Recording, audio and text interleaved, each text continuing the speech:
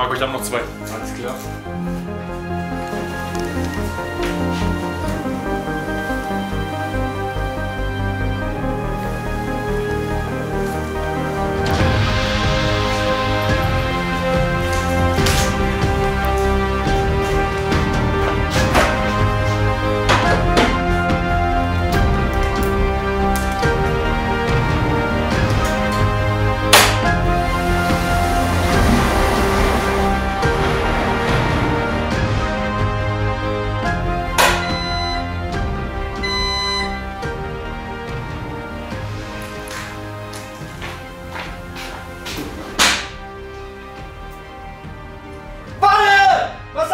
Wieder angestellt?